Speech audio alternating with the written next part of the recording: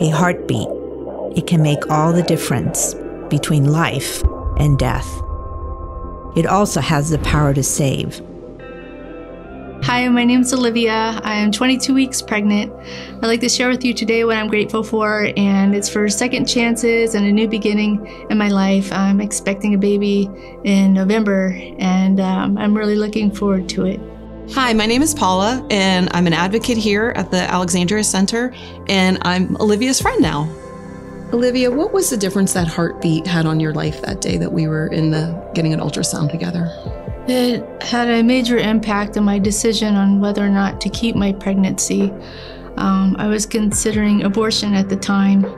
So when I saw the heartbeat on the screen during my ultrasound, I realized that that's not something I could go through with, knowing that my baby was alive and had a beating heart.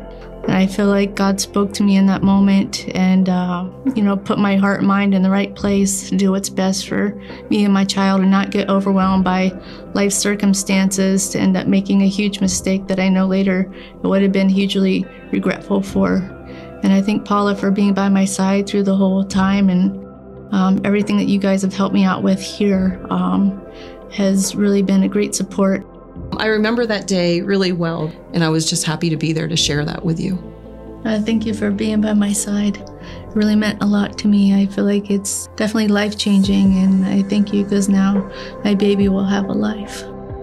Now, with our 4D technology, we can show women the vibrancy of the life within them. This new clarity and detail is unprecedented. The heartbeat continues to open the door to the reality of life but 4D technology will help us capture the masterpiece of our Creator because every life matters.